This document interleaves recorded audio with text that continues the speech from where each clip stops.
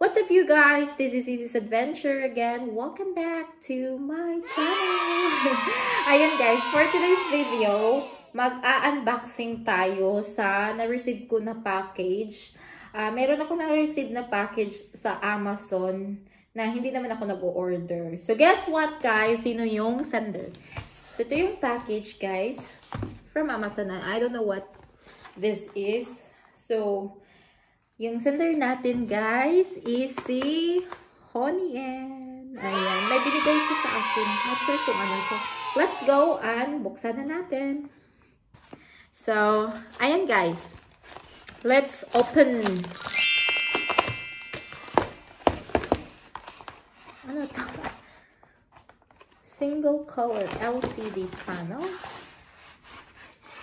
I knew it. This is the the same. Ah, yung sulatan pala to yung ano. Uh, like, for example, magpipinoy henyo ka. I guess, I just guessing.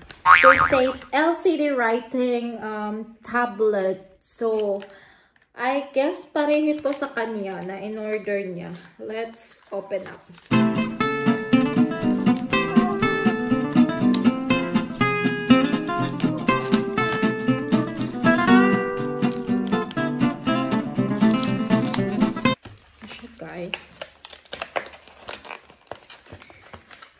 So, binilahan niya ako nito, guys. Look at that. I don't know. Ah, so, ayun. So, same siya sa kanya, yung binili niya. Ah. Thank you so much, honey, and you're so nice and kind. nice and kind. Paano ba ito i-ano? Wait lang. I-open. Oh my gosh. Hold on. Hold on.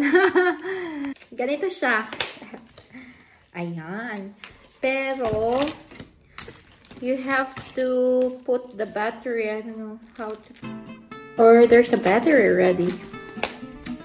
Here's the writing thingy. Um,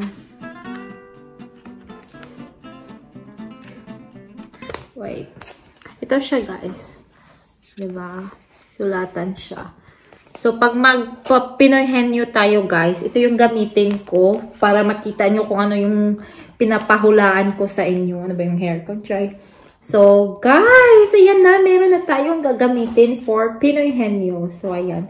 Thank you so much, honey. And bye for now. Look at this. Thank you, honey. Thank you, mom, for this. I love it. I love it. This is really useful.